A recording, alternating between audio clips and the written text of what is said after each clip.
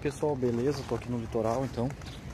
Depois de ter averiguado esse detalhe, aqui é o barulhinho que faz do pistãozinho, beleza? Depois de ter averiguado esse detalhe, né, antes de ter saído pro litoral, até vou abrir aqui, ó, agora. Eu perguntei para pessoal mecânico aí do, dos grupos do Azira, gente show de bola. Perguntei até para um brother também que parece que o primo dele era um dos representantes da Motul lá no Rio de Janeiro. E literalmente esse detalhezinho aqui, ó, que tá tem uma graxinha, isso aqui já até já meio que limpei, né? Porque eu passei o dedo aquele dia, ó, tem uma graxinha ali, ó. Ó. Isso aqui é do aditivo da Motul, que ele é bem oleoso para trabalhar, para bomba trabalhar tranquilo, para o sistema trabalhar tranquilo dentro do para trabalhar, né, o líquido no sistema.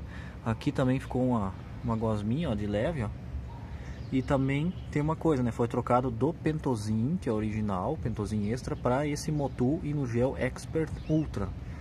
E pode ser que sempre fica aí 1% ainda de ou meio por cento ainda do aditivo antigo da Pentozin e pode ter dado uma pequena pequena reaçãozinha aqui e pode, claro, daí fica a gordurinha, né?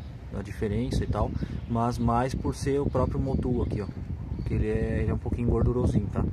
Aí eu peguei e abri aqui o, o, o reservatório de expansão, porque aqui ali é a parte que entra o radiador, aqui é o reservatório de expansão. Cara, tá tudo tranquilo aqui, ó. Deixa eu ligar o flash, não sei se vai dar pra ver. Tudo tranquilo. Olha lá, ó.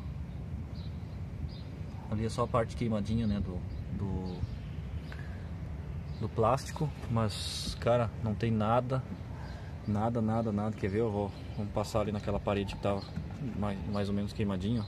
Não tem nada, nada, nada, não tem nada de. Aqui também não tem nada, ó. Ó. Nada, nada, nada, nada. Então, é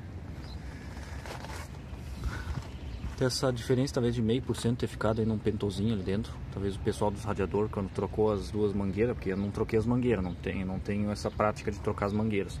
Só troquei a válvula termostática, né? Vocês acompanharam lá em 2018. Tem os vídeos lá. E tá vendo que aqui também ficou aqui assim na, na bordinha, na bordinha de baixo aqui, ó. Vamos ver. É uma gordurinha, mas tá tranquilo. Olha só como eu peguei aqui no litoral um pouquinho de areia que vem voando, né? Porque o vento do litoral tem, tem areia. Olha só como já sujou o carro aqui. Eu já andei mais de mil, 1.500 quilômetros só com silicone e tudo e não tá sujo. Só que assim tá um pouco sujo. Aqui na...